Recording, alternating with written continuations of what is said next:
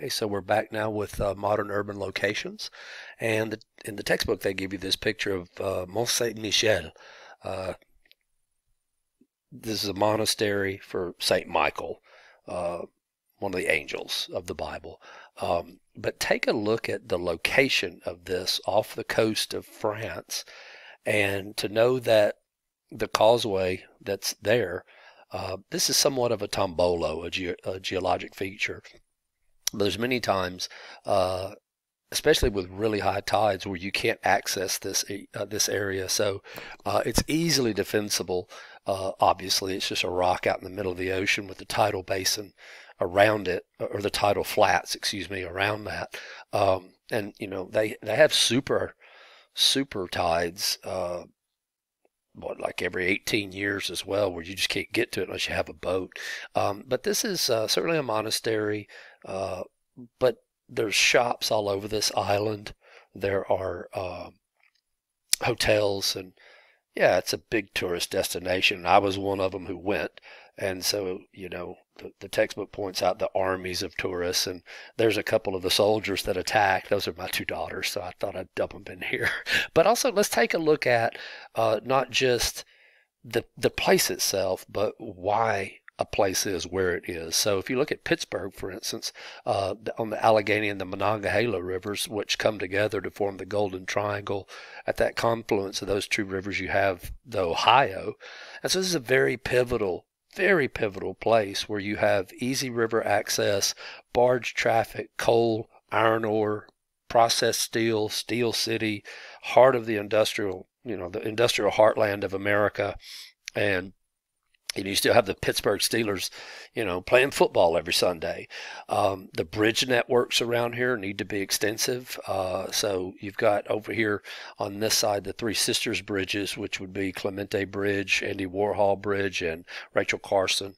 Uh, I've mentioned her Silent Spring before, um, but they've had to revamp this town. I won't lie to you. I go up here fairly often because I like watching the games up here, um, and you know, now that they've torn down the foundries and the blast furnaces and the air's cleaned up, this is a really nice city now. It's very beautiful. Um, PNC Park, I go for baseball. Uh, the backdrops are just wonderful. Good pedestrian, good good air quality. Uh, museums and all kinds of stuff here, guys. So if you get a chance to go up, you'll see a very different Pittsburgh than you would have um, in the 1970s. But again, that said, let's take a look at what are the advantages of location. And so this image I'm showing you here is uh, de la Cité, which is in Paris.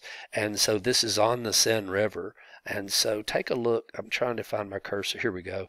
This right here is Notre Dame. You know, it burned down just a few well, a couple three years ago, um, and now they're rebuilding it. But look at this wonderful uh, river island site fortification. You could get to it by the bridges, and there's there's a, a subway that runs under here.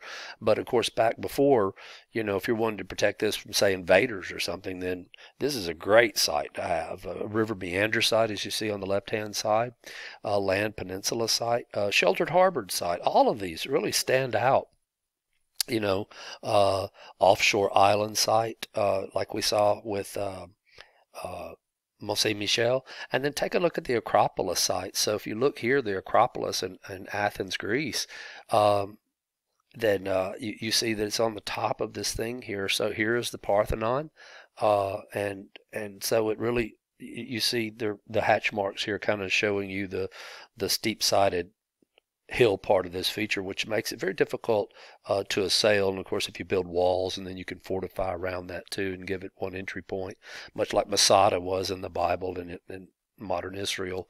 But uh, these locations uh, are one of the prime reasons to, to locate a city. There are others, of course, military, uh, maybe universities, uh, you know, uh, there's several different you know reasons but but by geographical placing those hopefully explain it. So if we'll take a look at central place theory here which is of walter christaller a german urban geographer he wanted to look at a very uncomplicated place uh, but to see if he could show predictive aspects of a model here. Now it does not intend to to um, be an exact you know, predictor of, of what we would see in the real world. But, buddy, it's close. And if it weren't this good, we wouldn't be talking about it anyway. So, in essence, here's what he's doing. And, and look, I want to show you real quick. I have two other uh, graphics here that were left out of the textbook that might help explain a little bit better. But let's take a look at what Christaller thought you should have. Well, first, there's a hierarchy. So the hierarchy is, is that the first order city here in the center, and let's just call this Nashville, but this first order uh, is not going to have any other rival uh, city that's going to pop up near it, unless there's certain, you know, uh, geographic factors like a river, like Minneapolis, St. Paul, or Dallas, Fort Worth. You might get that, but you know, there's a there's an intervening aspect associated with it. All right, on the outskirts here of this kind of hexagon, you see the second tier cities. So here, here, here, here. Now, these are cities that offer almost all the types of goods and services that you would find in the major city, but not all of them. So if we were to look in Nashville, all the best doctors, all you know, the the biggest sporting teams, the Predators, the the Titans, the Nashville Sounds, uh, those kinds of things, all the big concert venues.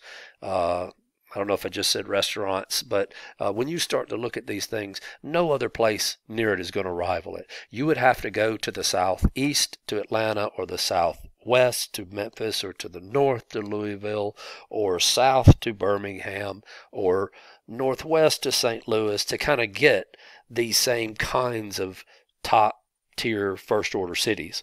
And so, what's the range you would have to travel?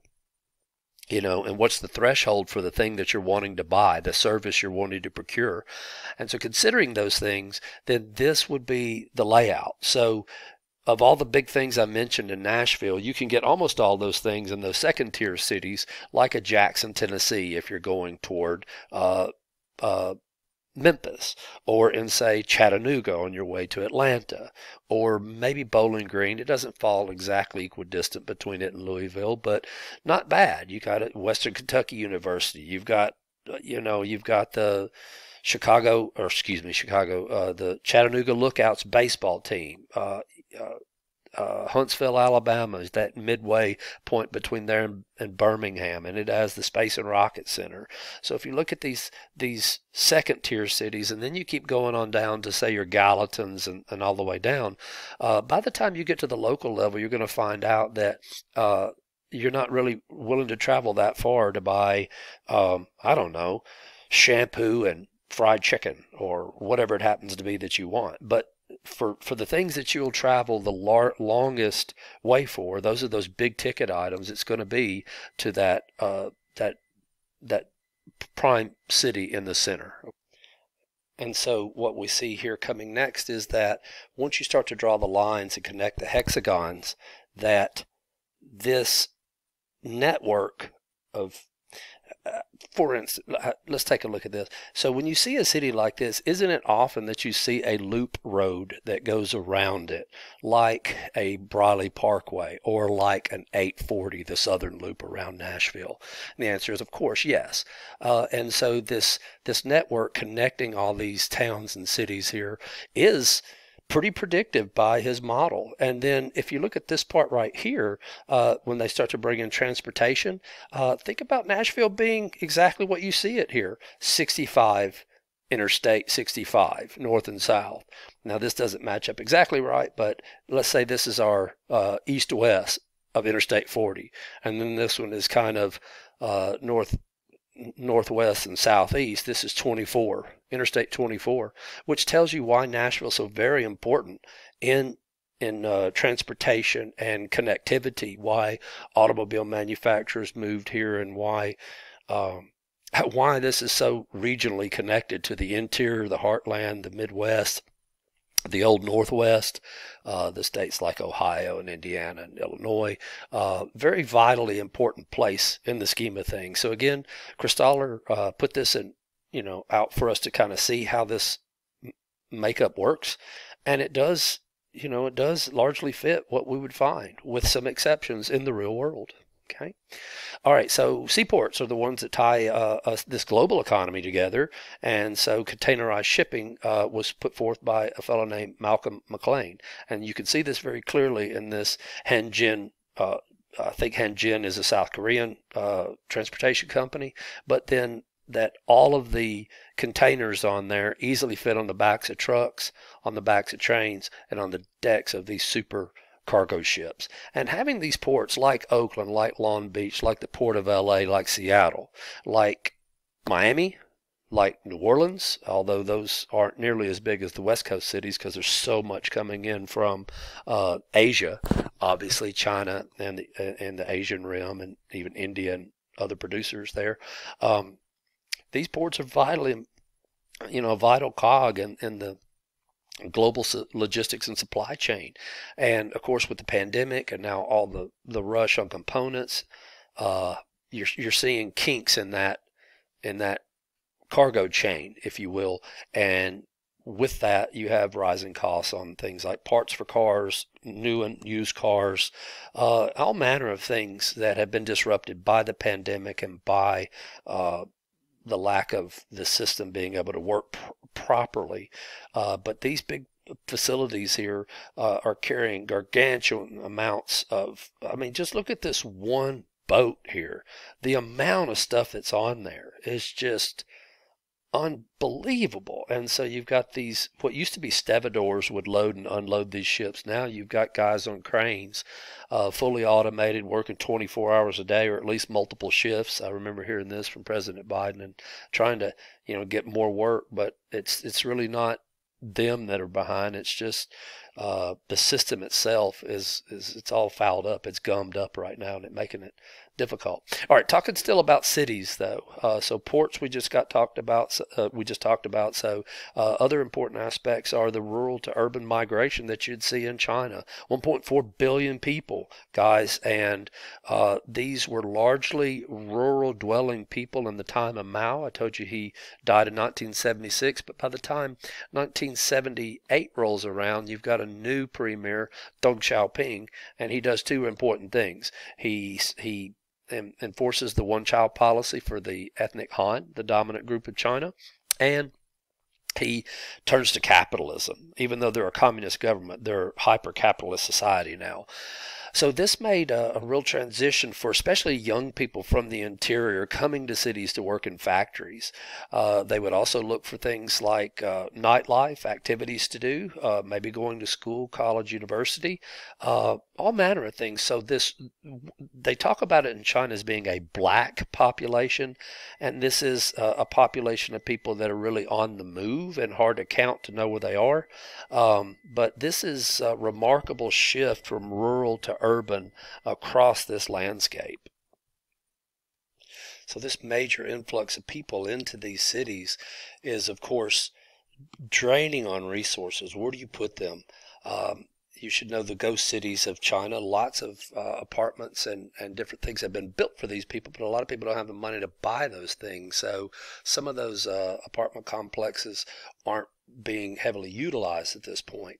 But having uh, 50%, 56 percent of the population in the cities by you know four more years having 240 cities of a population over a million you're talking about a Guang, guangzhou for instance just incredible crush of people there's a discussion now about it being a hundred mile city and that is to say that it is the core with all these satellite cities being loaded up with people and uh, where do you where do you fit them all? How do you how do you transport them? Where do, where do they where do they live? Where do they get green spaces? Uh, to, to uh, uh where's the nightlife?